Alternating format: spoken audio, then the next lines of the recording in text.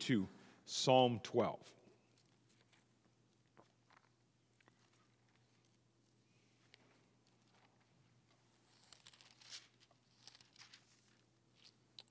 Psalm 12 is for the director of music, a shorting, according sorry, to Sheminith, the Psalm of David. Help, Lord, for no one is faithful anymore. For those who are loyal have vanished from the human race.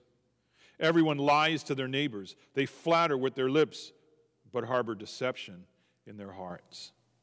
May the Lord silence all flattering lips and every boastful tongue. Those who say, By our tongues we will prevail, our own lips will defend us. Who is Lord over us? Because the poor are plundered and the needy groan. I will now arise, says the Lord. I will protect them from those who maligned them.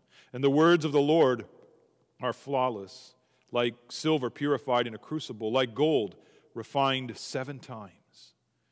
You, Lord, will keep the needy safe and will protect us forever from the wicked who freely strut about when what is vile is honored by the human race. And I'd like to turn to the Belgic Confession as we continue on what we call theology proper, and then in light of that, what we confess about God, how we come to know God, and what we confess about the Word of God. And so, first of all, then, Article 5, we have the authority of Scripture. We read all these books, the 66 books of the Old and New Testament, and these only as holy and canonical for the regulating, founding, and establishing of our faith. Then we believe without a doubt all things contained in them, not so much because the church receives them and approves them as such, but above all because the Holy Spirit testifies in our hearts that they are from God and also because they prove themselves to be from God. For even the blind themselves are able to see that the things predicted in them do happen. And then in Article 6, we see the difference between the canonical and apocryphal books. And then we distinguish the books of the Bible from the apocryphal ones, and then you have the list of all of them. And then we go on. The church may certainly read these books and learn from them as far as they agree with the canonical books. But they do not have such power and virtue that one could confirm from their testimony any point of faith or of the Christian religion, much less can they detect, detract, sorry, from the authority of the other holy books. And this we confess about the Word of God. Beloved congregation of our Lord and Savior Jesus Christ, I think more Christians are crying out with Psalm 12 Help, Lord, for no one is faithful anymore. For those who are loyal have vanished from the human race. Everyone lies to their neighbors, and they flatter with their lips but harbor deception in their hearts. I think many of us are mourning, even grieving. We're very concerned, in fact, perhaps even worried that Canadian society is no longer rooted in anything very moral anymore. I mean, we can have the debate whether or not Canadian society, British society, and, and, that we inherited from the West was always inherently Christian. But it certainly was based on the rules of Christendom, that, that certain things we just took for granted life and marriage and sexual identity, what's right and what's wrong, what's honest, what we expect from our politicians and such. And we know there's always been corruption. But it seems now that corruption has moved to the forefront. It, it, seems that, well, we just expect people to lie. That we expect that the, that the person who's going to sell our house is, is out for himself and he's not really trying to give us the best price for the best house, but that he's out for himself. That the legal system is not about the truth and nothing but the truth, but about one trying to win against the other and that one lawyer is trying to make his name while the other is trying to make her name, and the two of them are not interested at all about what really happened. They're just trying to get their person off or to get the other person convicted. And in the middle of all of that sits a jury and a judge. And I think because of the media right now, and there is a growing distrust of the media, that more and more of the Canadian media is in fact supported by the federal government and that those who are independent can't even ask questions at the 15 minute briefing every day. And we wonder, what's going on? How is this even possible?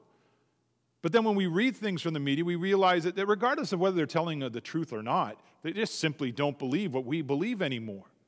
That they don't really have any stock in the word of the Lord. And if they don't put any stock in the word of the Lord, they don't really hold to a higher God. They don't answer to him. And so truth is whatever you make of it. And so we live in a world of, of relativism. Do you remember some of the older folk when in the 80s, as we turned into the 90s, there was the New Age movement, and we were very concerned in the church about the New Age movement. Well, the New Age movement's here. It just sort of snuck up on us, and we don't even talk about it because it's just the old thing now. You can't know the truth. Truth is always changing. Today it is, tomorrow it's not. The theory of relativity, which really comes from physics, and, and Einstein, that, that one of the things that has to be absolutely true is that it's always changing. If you put your foot into a river, the river is going over it, the water is changing all around it all the time. The stones are wearing out. Something is different happening. It's different over there, different where you are, and different where it's going to be. It just depends where you are at the time you're trying to figure it all out. And then we move from there and we said there's no absolute. We can't say this is. You may not say that is. You cannot say that there is a God. You cannot really even say that there is no God. We just don't know. And we live in the great world of the I don't know, which leads to then I can do whatever I want because, well, I don't know. Oh, Psalm 12 could have been written today. I think what's even more troubling is that Psalm 12 could be said to be true about the church. That, as a matter of fact, David is probably singing about a time in his life when he's fleeing the so called faithful, and the faithful aren't telling the truth, whether it's King Saul or whether it's his son Absalom. They don't love the Lord anymore. They're about themselves, and they'll say whatever they need to say to get what they get, need to get done. Survival of the fittest. And if I have to malign your character, I'll do it. I don't care. It really doesn't matter what's going on. It just matters who has power in the moment that he has it. And then you have other people who, are coming towards David and, and being all kind to him and saying great and wonderful things to him and stabbing him in the back in the meantime. Who can you trust? Who can you trust in this world? And then we get to those beautiful words of verse 6. And the words of the Lord are flawless, like silver purified in a crucible, like gold refined seven times. Seven times. That means there's not even an atom of impurity in there anymore. That, that there's not a molecule in there. That it, it's all, all the dross. And if you want to put it, all the lies, all the deceit, all the dishonesty, all the broken, it's all purged. It's in that word of God, I have the pure, honest truth. Now, I don't always like the truth, and as that movie says, I don't always want to handle the truth. But there it is for me and for you from God. And David says, In this world with devils and lies and all of it filled, there is the word of the Lord for us, that we may know the beauty and the truth of God's word in this world. So, our theme this afternoon is God reveals comfort for the righteous by the authority of his word. First of all, we'll see that his word is the regulation of our faith, it is the foundation of our faith, and then finally, the confirmation of our faith. It's a good question, eh? What has happened to the truth? What happened?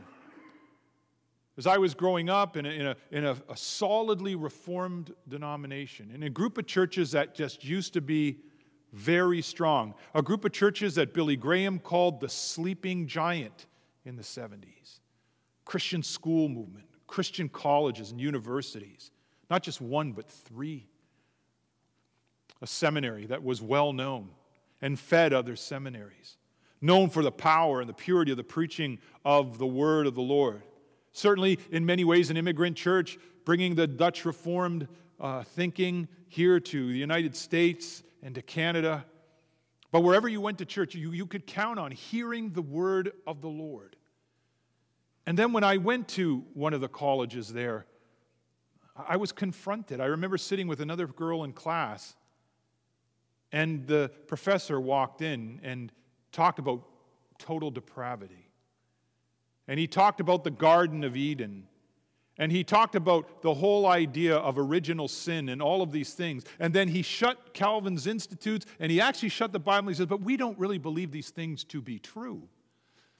And in a class of 30, only another girl and I said, But what about the Garden of Eden?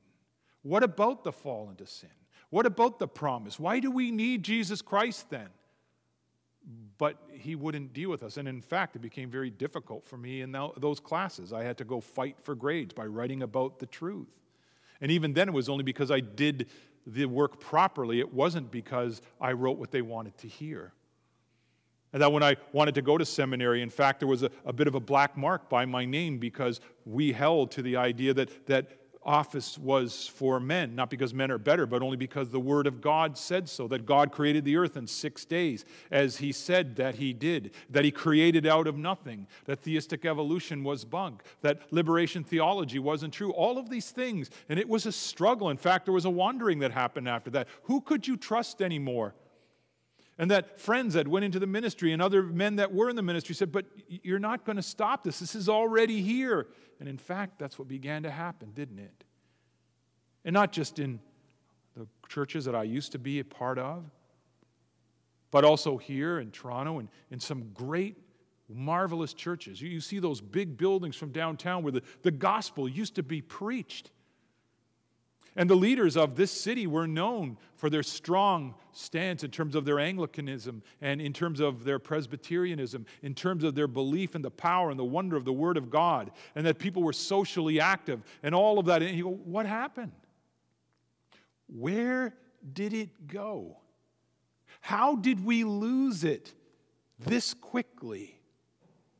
He talks about it there, right? They, they flatter with their lips, but they harbor deception in their hearts. That means they speak a good game, and, and really probably in terms of they, it seems like they're good. It seems like they're holy. It, it seems like they have good things in mind. And you know what? In many ways, they did. When they saw injustice, they want to take care of these things. Or, or when they see certain things, they, they know what the answer is, but they apply human logic and they apply human rationality and human sensibilities of what love and freedom and all of these things are, so that what used to be liberty, or what actually used to be liberalism, which was studying the liberal arts so that we as Christians could study everything in light of the Word of God, with the Word of God speaking to us, somehow that turned to a belief in liberalism, which was getting rid of the Word of God, or secular liberalism,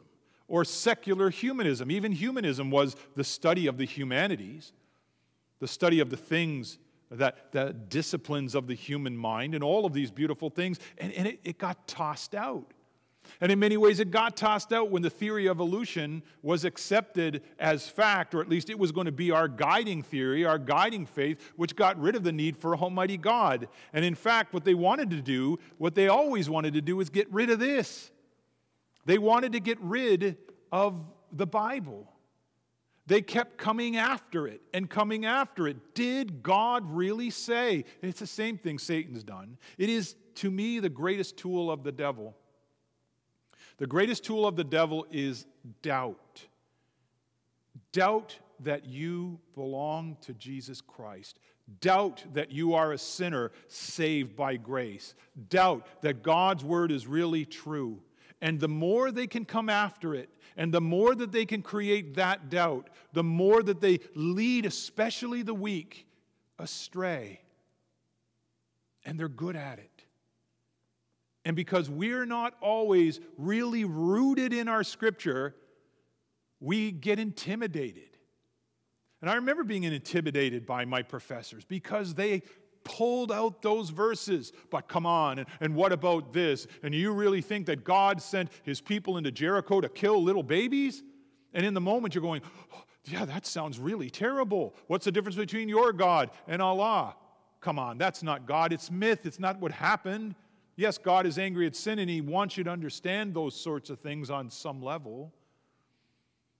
Do you really think that, that there was just quail that, that showed up by the hand of God while the, the people of Israel walked through the wilderness? Of course, that, that is because they were there in that time. We can explain all of these things scientifically. This isn't that difficult. Even all these demonic possessions, we know that that is nothing more than epilepsy, they'll tell you, or, or some psychosis or schizophrenia. Which, by the way, what does it mean for those people who actually have those diseases? I don't know what they say then. But constantly they come after. And if you don't really know the Word of God, and more than that, if you don't know how to read the Word of God, then you're up in the position that David is, where the faithful are kind of standing there under attack, and somehow we moved from a majority position into a minority position, and we were asleep the whole time it happened. And then we're kind of like, whoa, now what? And we want to push back, and we don't know how. Because quite a lot of the time, most of the time, we just took for granted that our leaders, that our teachers, that the people we trust held to what we believed. And at some point, we weren't really listening. And even if we were really listening, sometimes we go, something's not right. But we didn't go further into our studies to find out what was right. Now, let's add to that. It happens in Israel all the time, right? Israel wants to get rid of the authority of God. They want to get rid of his yoke. They don't like it. Look, if I can live like the pagans do, I can sleep with whoever I want, I can do whatever I want. I can make my own money. Basically, if I make the gods, then I am my own God. No God, no master. That's the French Revolution, which comes to the United States really in the American Revolution and their Constitution, which accents individual rights, and then comes to us in Canada in terms of our institutions and Constitution as well. It's about what I want to do and the protection of my individual freedoms. And at the end, it's the same thing no God God, no master. I don't want any authority in my life. And then when the church comes, sounding the voice of God, when God comes and says, This is my word, listen to it, then many people say, No, I don't want to. And I will not listen to it. And I'm not going to listen to it because I don't believe it's true. Because I don't believe virgins can have babies, and I don't believe that men can rise from the dead. I don't believe that human beings are as bad as you say that they are. Well, what about Hitler? Yeah, well, he was just one of a few. What about Khomeini? He's just one of a few. If there is a hell, that's where those people go. But the rest of us are pretty good people. Leave us alone. Well, where did 200 STDs come from? Where did AIDS come from? Where does cancer come from? Well, that's because we're not environmentally clear. Why are young people shooting other young people? Why are they all these mass murders? What's going on with all the racism? Well, that's because we have institutional problems. In fact, you know why that is? It's because of your Bible. And on and on it goes. And we get pretty much blamed for everything. And we don't always know what to do. Well, look what Psalm 12 says that the ones in trouble are them. May the Lord silence all the flattering lips and every boastful tongue who say, By our tongues we will prevail, and our own lips will defend us. Who is Lord over us?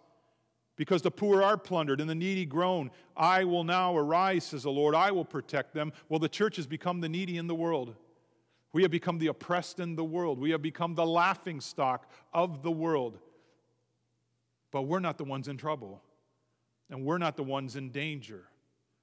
And you know why we know? Because we know what the word of the Lord says. I don't know how often you've read Psalm 12. I don't think Psalm 12 is one of those real popular Psalms. But it's there, right? We believe all these books. And so I believe the book of Psalms. And I believe that Psalm 12, without a doubt, is the Word of God, that it is from God, and it testifies that it's of God. It even says it in there, right? That the Word of the Lord is purified, perfect, like gold. It's flawless. You can trust it. And when God comes and He says, I am the Lord your God, and I am king over your life, and I can save you, and I can deliver you, then we can say, we can believe it. And that the argument isn't about all these little facts and all these little things that, that seem apparently contradictory or, or that virgins can't have babies. Why not? Because you say so? Because science says so? Can science prove love? Can science prove emotions? Can you prove any of this? Can you prove that the earth was created through evolution? Can you prove any of it? No. So why do you right away deny the word of the Lord? Because we have answers for the world that we live in. And we see that God said in Genesis chapter 6 man is wicked in his heart, wicked in his imagination, inventing ways to do evil. We invent ways to make it easier to kill unborn children. So you don't even have to go to a clinic anymore. You can get your online pill and do it at home. Who thinks of that? The animals don't even do that, but we do. We figure out bigger and better ways to bomb each other and blow each other to death. We find new and wicked ways to excite each other and, and to make our lives better. And God says, Whoa, don't flatter yourselves. Look into the depth and the marvel and the wonder of the Word and find in there morality. Find in there what's right and wrong. Find in there the way to hope. Find in there the way to Jesus Christ. The authority of the Word of God over against really those books of the Apocrypha is this. In the Apocrypha, and many of those stories agree with Scripture, but we don't find Christ in them. But when a Christian reads the Word of God, and Luther said this, it is impossible for the Christian to understand the Word of God unless he understands the cross. And when you understand the cross, you understand the whole Word of God as the Word of God, and you understand these books of the Apocrypha don't have it the same way.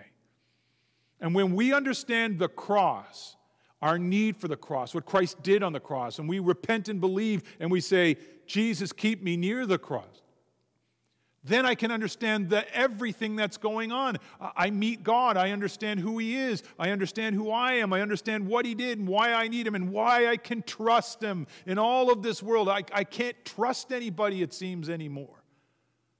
Husbands and wives get married till death do us part. I met somebody a while ago, and his, his sister had had to marry. The, his parents spent $80,000 on the wedding. In four months, they were filing for divorce. Till death do us part. It's meaningless in our world. And then God comes and says, Here I am. My words are purified seven times over. I've given it to you. I'm telling it to you. You can trust it. And in here, you'll get rid of all the sexism and the racism and the individualism and the secular humanism and the secular liberalism and all of that stuff. And you will find truth and beauty and what's good for your life. In, in here, you will find the foundation for your faith. You, O Lord, will keep the needy safe. You will protect us forever from the wicked who freely strut about when vile, what is vile is honored by the human race. See, we need something that's rock solid. Every human being needs that. We hate that, right? When you're walking on the ice and you're not on your skates, but even if you are, or if you're learning to rollerblade, right? And you, you feel like you're going to fall. We hate that feeling. We even panic when we're in a boat that's rocking. We hate it. We don't feel solid. We don't feel secure. If you've ever been through an earthquake, it's like, whoa, what's happening? I don't feel safe. How do we feel safe? In our faith. And how can we keep our faith sure? What is the foundation of that faith? It is the Word of God. The Word of God is holy and canonical. It's the only book the only thing that comes from him on the earth. It is the rule of our faith for founding it. And so then we can get rid of that doubt, you see. That doubt that comes and, and we really begin to wonder is God really there? Does he really love me? Or even, am I good enough? Or how could God love me? How can I be saved? Why am I living this way? What's the purpose? That's the way the devil goes, right? That pretty soon I doubt and I, just say, well, what's the point? And I experienced that in my own life, a, a troubled time, especially in my youth, in, in, those days of university where everything was being attacked by men who signed the form of subscription and women who said they believed all these things and yet were teaching us completely different things. And you would go home and you would hear one thing and you go over there and you hear another thing and you go, well, who's right? They all seem good and decent and kind and true. But was I in the Word of God? Not at that point in my life the way I ought to have been. And you get rocked. And then we say, there it is. The Word of the Lord is flawless. And what does He say? I'll protect you, I'll watch over you, I'll take care of you. They're going to walk around and, and they're going to flatter them. They're going to say all kinds of really interesting, cool things about themselves. and how they know and how they, they are, are the kind ones and they're the decent ones. And, and it's those old conservative uh, people that, that they're the ones who are old and Victorian and they don't want you to have fun and, and they don't want you to, to see what it is. And, and you know what happens? What, what happened in Israel is that the forces of paganism drove the reading of Scripture. So I can have God and I can have the other gods. I can have the Ten Commandments, but I can break the Ten Commandments at the same time. I can rationalize all of it because, well, if God wrote it now, or if I change the way I read it, then, then I can make it say whatever I want to say.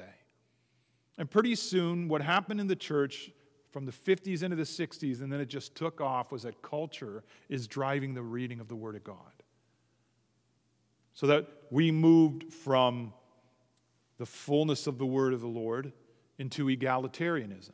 And egalitarian, egalitarianism is just another name for feminism. And as women began to assert themselves and, and, and to get to a place, and in some ways probably rightly so, because in the past they hadn't been treated all that well, but it moved on forward. And pretty soon we have feminist theology. We have egalitarian theology. So that coming out of the Netherlands today, we even have homosexual theology. What do you think Jesus was doing with only men? It's disgusting. And this is what begins to drive the scriptures. So that I heard from Christian men that, that God is the God of communism, that God always protects the rebellion and the revolt of the weaker and the poor against the rich, which is nothing more than Christian communism or what was called liberation theology. And the foundation of your faith begins to shake. Well, then what, what's true? What's right? If, if today women have rights and they assert those rights, and I, I was reading about that, in what is Persia, right, which is now Iran. In Persia, women actually had quite a bit of freedom, had quite a bit of rights. They were teachers, they dressed Western way. And then when Islam came, all of it was taken away. Now, if you don't have the word of the Lord, which one's right? Every time it changes and society changes, are we going to change the way we read the word of the Lord? And people who would say, well, in that time we didn't understand the Bible property, properly so that Christians could have slaves. Christians were never allowed to have slaves, it was never right. And that's why when we bring the word of the Lord to bear, then we must be solid on it. Not always. And by the way, I think we all subtly do it. We all keep something, some way to read the scripture and say, you know, but I have freedom. You know, where Paul talks about that meat that's offered to idols.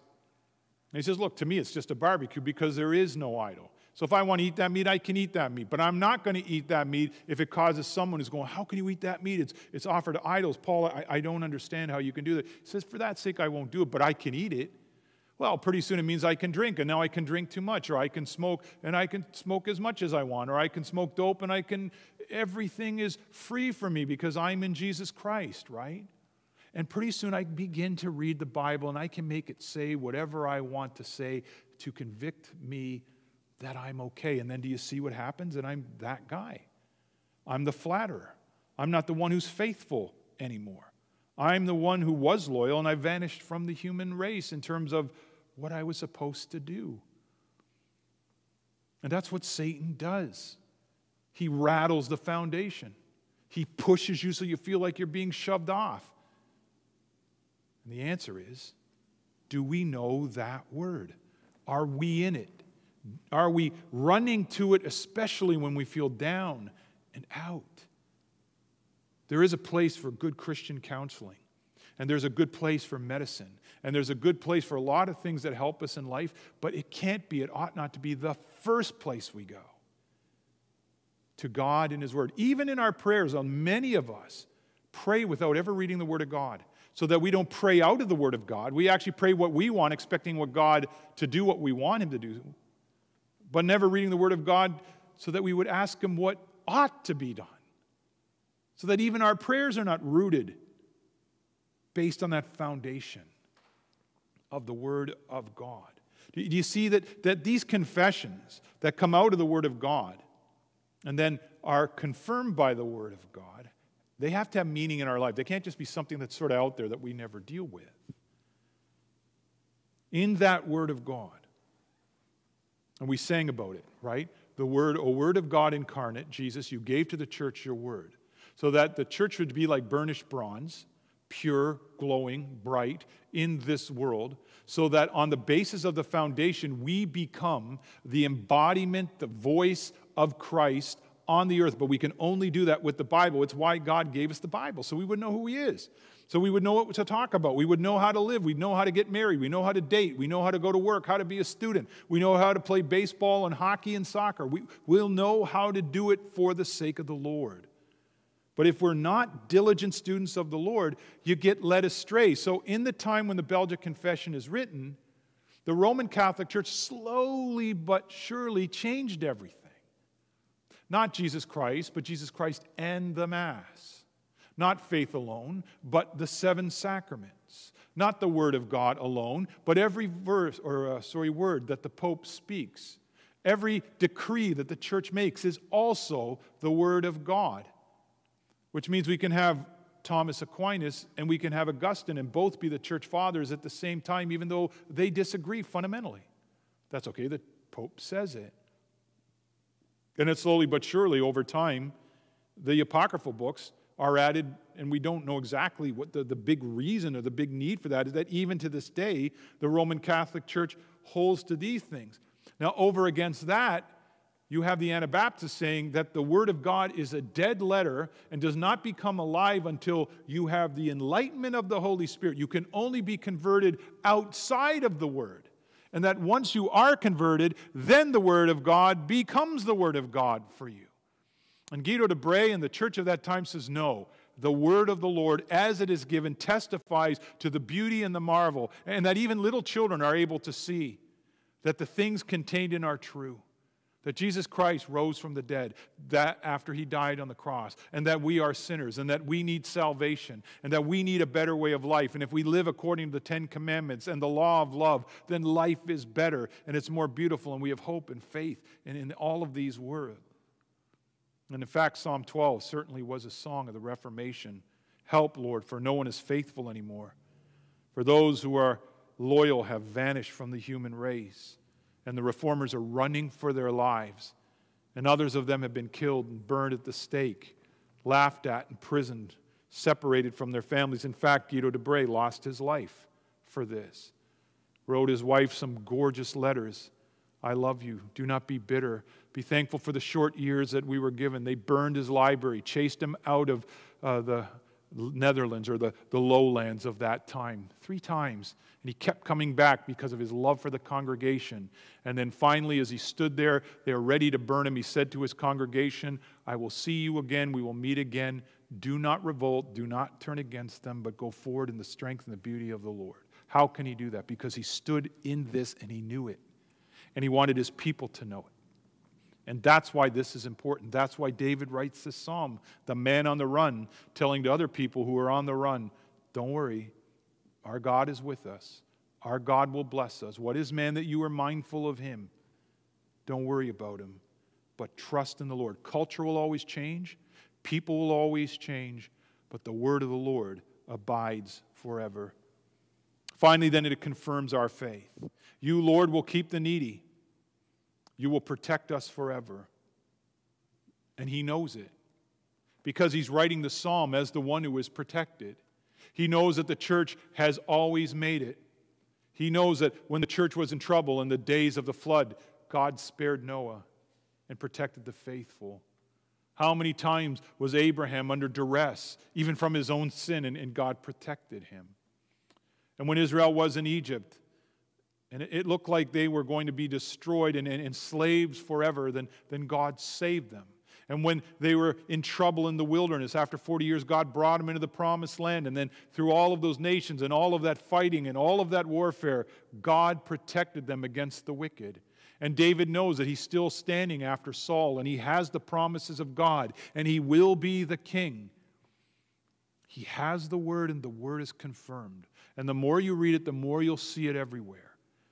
When you, when you look at the heavens and you say, they do declare the glory of God. When you, when you hold a little baby and say, it declares the glory of God. Out of the mouth of babes, you have ordained strength.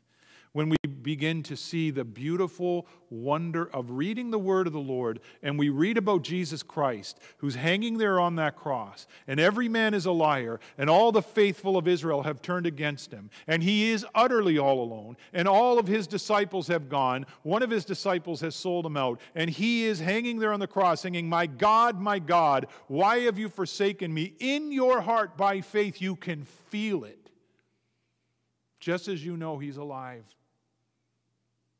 Even though you've never seen him, Peter writes, you believe in him and you live. And you get that from no other book. You don't even get that from the Belgic Confession.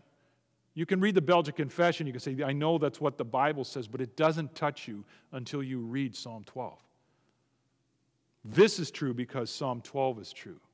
This has power. This doesn't have power. This holds us to what the truth is, but that's as far as it goes. If we wanted to pick a book, if we were going to be sent into a prison and we could only have it, we would choose the Bible, not the Belgic Confession. It helps us understand, it helps us study, but it's not the word of the Lord. That, that's why it says it there, right? We don't even receive the Bible because the church says so, but because we feel it in our hearts. And we believe it and we know so that, that we hear God speaking in this in a way that, that nobody else can. The, the Muslim doesn't hear God in here, and then he says, your, your book's a joke. The atheist, the agnostic, the secular humanist, the secular liberalist, the rationalist, they don't hear God in here because they don't want to hear God in here. They cannot. I couldn't. I couldn't until the blinders were taken off. It was always the word of the Lord, but it didn't speak until somehow God broke through the stone walls of my heart and brain and mind, and there he was. And just like when my wife went to the Netherlands for a semester away and we had just met, and I couldn't wait for a letter to come from her. And you would read it, and you'd read it again, and you'd read it again, waiting for the next letter to come. Because you can feel it, you can almost hear her. That's what happens with the Word of God. That we should want it. In the same way that we can't have worship right now, that we want to get back together for worship, we do have plenty of time right now to be in the Word. It's great that there's a lot of stuff on YouTube right now, and there's a lot of stuff on the internet and Facebook and all that. And there's lots and lots of sermons, but please take time and read it yourself. And sit down with someone you love and read it together so that you won't be led astray, but more so that it will be a confirmation to you. And read all of it. You know, when you go to Psalm 13, how long, O Lord, will you forget me forever? And then verse 5, but I trust in your unfailing love. Psalm 14, the fool says in his heart, There is no God. The Lord God looks down from heaven to see if there are any understand. And the evildoer knows that, and yet it goes on. The Lord will restore his people let Jacob rejoice and Israel be glad. You'll see it again and again. Trouble in the world, persecution in the world, damnation for those who don't love the Lord, but sweet salvation and the beauty of grace. And you see Christ all over it and the promises of grace and mercy and shalom. And then it's okay. And then it's well. And then when I go to the counselor, I go in a good way. And when I go to the doctor, I go in a good way. And when I listen to my teachers, I can go, I love my teacher. And I love what she teaches me, but not everything she teaches is perfect because I know she's not. And I pray for her, and I still love her. That I know my elders are doing their best, but they don't understand everything perfectly. And certainly the man who's called to stand up here cannot, cannot preach the word of God so that everything is perfect truth, but we believe that God will override it so that what comes forward is the Word of God. And it is truth. But don't be led astray. Let the Word of God regulate your faith. What is it that you need to believe? Let it be the foundation of your faith. I stand on the Word of the Lord, not only reading it in the sense that I read every word, but really trying to understand and grapple with it so I can see God in Christ by the power of the Holy Spirit with prayer and work, and then be confirmed in that faith. That if God is with us, who can be against us? And in that beautiful, perfect word, seven times gone through the fire pure, I will find the voice of God every day until He calls me home and I hear it in perfection and know how loved you and I really, really are when we stand before His throne of grace, looking forward to the world to come. And we can believe all of this. Just like the, the Bible story says, right, children? How do we know that Jesus loves me? Jesus loves me, this I know, for the Bible tells me so. That's, I just spent about 30 minutes saying that. But children, you know it. It's what we confess. Even children know it. If you can say, Jesus loves me, this I know, it's because you believe the Bible. And so we should believe the Bible with that childlike faith to the glory of God and that we may be strong. Amen. Let's pray. Father in heaven, the fool says in his heart, There is no God. We look around us and we see corruption, and the uh, deeds of the world are vile, even. Is there anyone who does good anymore? You look down from heaven on all mankind. Are there any who understand anymore, Father? Any who seek after God in who we are, in the way we are born, in our sin? We have become totally corrupt, and we don't do good. And so, Father in heaven, we know that in our wickedness, we know nothing.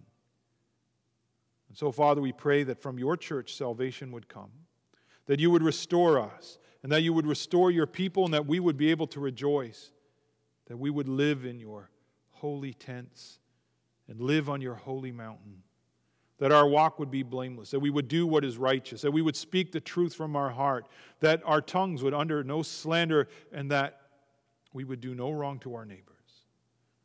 Father, if we will keep your word, we will never be shaken you have promised this through your word, that word especially made known to us in Jesus Christ, in whose name we pray.